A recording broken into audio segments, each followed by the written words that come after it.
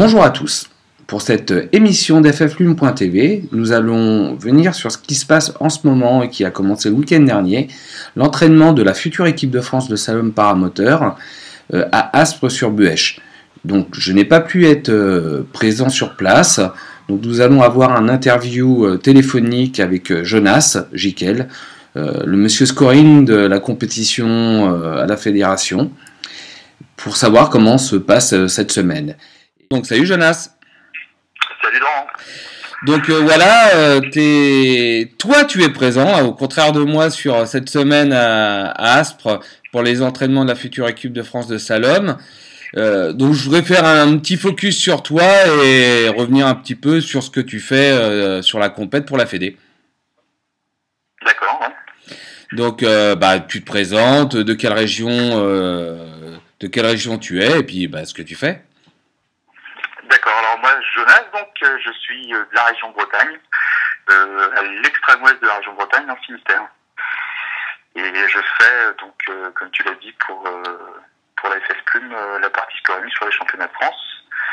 Et puis sur Salomania, j'assure un petit peu différents postes, euh, commissaire, drapeau, déco, et puis la partie scoring aussi un petit peu en fonction des besoins.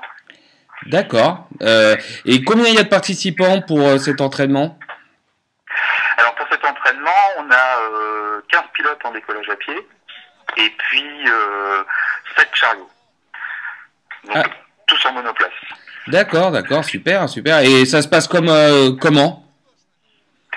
Eh ben, Ça se passe bien, malgré, euh, malgré que là, il y a un vent qui s'est qui s'est levé là et puis qui risque de durer encore un petit peu. Là, on est quand même, on est quand même sur un site qui est absolument superbe, sur Bêche, absolument dégagé avec les montagnes tout autour, enneigé au fond. Euh, les pilotes sont contents parce que bon, on a fait quand même pas mal de vols euh, les deux premiers jours. Donc euh, sur trois demi-journées, on a dû assurer 13 vols sur un stade et ensuite sur deux stades. Sur un circuit monté de quatre pylônes et puis ensuite on a fait deux circuits en même temps, montés en même temps, de deux fois quatre pylônes.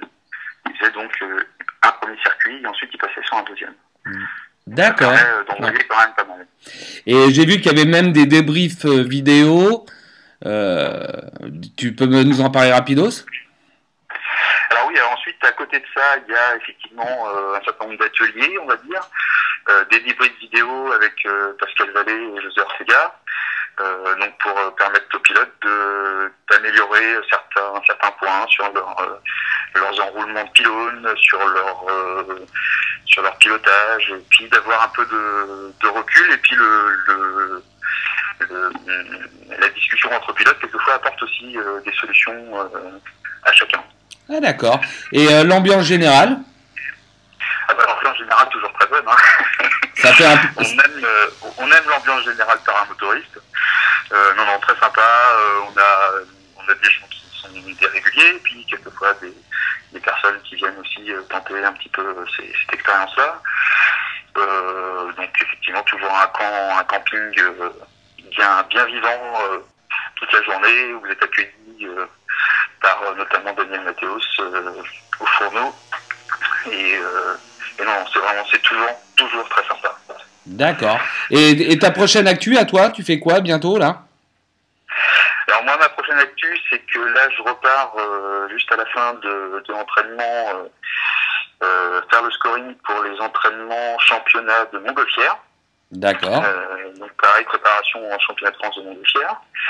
Et puis ensuite, ce sera Coué, donc qui sera l'autre étape Slalomania pour la France et qui sera aussi décisive pour la, la, mise en place des équipes de France pour le championnat du monde en septembre. Bah, je te remercie Jonas et puis euh, d'avoir passé ce petit temps avec nous et puis bah, bonne continuation. Bah, merci beaucoup Laurent, à bientôt, salut. Salut. Donc j'espère que cette petite interview vous a donné euh, l'ambiance euh, sur place. On essaiera de mettre au fur et à mesure sur ffplume.fr un maximum de vidéos et de, de photos.